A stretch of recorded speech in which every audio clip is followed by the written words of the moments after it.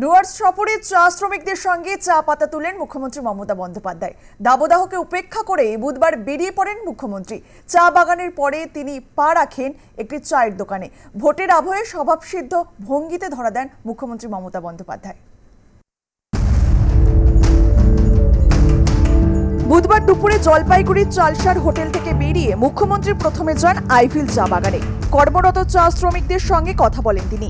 মন দিয়ে শোনেন তাদের কথা। খুঁটিয়ে খুঁটিয়ে জেনে নেন তাদের সুবিধা অসুবিধার কথা। এরপরই চা শ্রমিকদের সঙ্গে চায়ের পাতা তুলতে দেখা যায় তাকে। হঠাৎ করে মুখ্যমন্ত্রীকে এভাবে কাছে পাওয়ায় হতচকিত হয়ে পড়েন চা বাগানের শ্রমিকরা।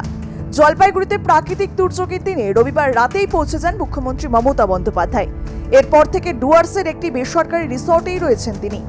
সেখান থেকে ডুয়ার্স সফর সারেন মুখ্যমন্ত্রী। এখানে প্রায় দশ লক্ষ চা শ্রমিক আছেন। যারা নিজেরাই পাঁচ বিঘে পর্যন্ত তাদের জমির সীমানা। যেখানে এক একটা বড় চা বাগানে ধরুন আড়াইশো একর, পাঁচশো একর এরকমও থাকে। এরা নিজেরাই নিজেদের চা পাতাটা তৈরি করে এবং এরা চা শ্রমিক মানে একটা চায় কৃষকদের যে বলা যেতে পারে চায়ের শ্রমিকও বলতে পারেন চায়ের কৃষকও বলতে পারেন।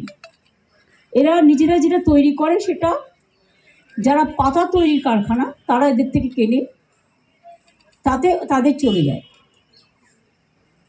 কিন্তু দু হাজার পনেরো সালে একটা ইনস্ট্রাকশন দিয়েছিল tea board government of India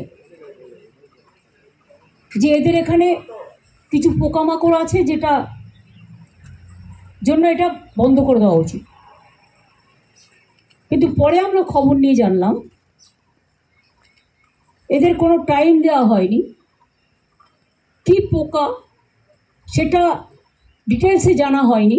চা বাগান থেকে বেরিয়ে মেটালি ব্লকের চালসা মঙ্গলবাড়ি এলাকায় পৌঁছন মুখ্যমন্ত্রী। সেখানে পা রেখেই দীনবন্ধু রায় নামে এক ব্যক্তির চায়ের দোকানে ঢুকে পড়েন। এরপর নিজের হাতেই চা বানাতে শুরু করে দেন তিনি। সেই চা উপস্থিত সাংবাদিক ও পুলিশ কর্মীদের বিতরণের ব্যবস্থাও করেন মুখ্যমন্ত্রী।